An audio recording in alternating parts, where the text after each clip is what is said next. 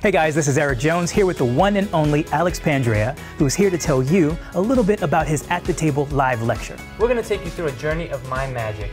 Ever since I was little, creating and performing magic at restaurant and walk around gigs, through the present and everything in between, talking about now how I feel about performing magic, creating magic, and much more.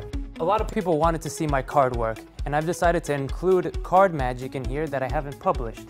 I love the mystery card plot, and when I came up with the TOP control, I found a perfect blend between the mystery card plot and this control that makes it seamless and very, very cool. That's beautiful. That's a great, great piece of magic.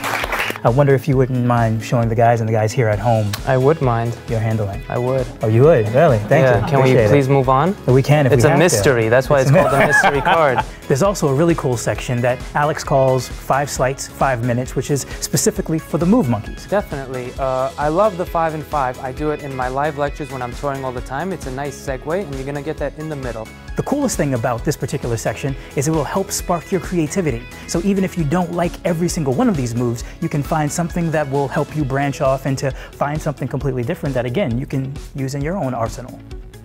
That's right, Eric.